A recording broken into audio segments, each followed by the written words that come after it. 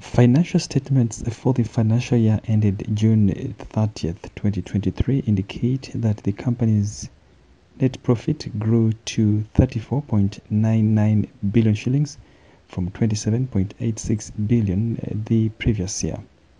This was driven by income sources like Namanve Thermal Plant, Kiira at Nalubaale Power Plant that were operated by private players like Eskom Uganda Limited. I'm happy that we've held AGMs to receive information about the growth of 63% of our revenue.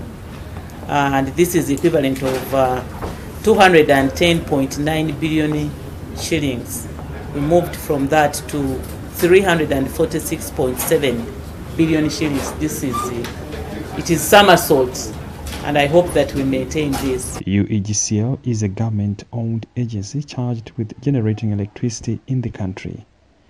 The agency's chief executive officer said his agency faced different challenges during the year like the delayed completion of the Karuma project and slow ratification of defects on Isimba. We decided in the AGM that the minister will be renewing their contracts until a final decision on merger is done.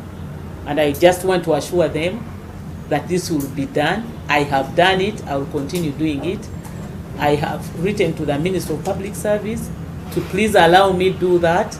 Otherwise, the country can run into Uh, bigger problems. Mutikanga also expressed concern over the impending merger of electricity agencies, saying it has caused uncertainty over the company's future, something that Energy Minister Ruth Nankabirwa spoke to. The government has set August next year as the new date for commissioning of Karuma, Uganda's flagship project. Story by Benan Ojambo for the news in Kampala.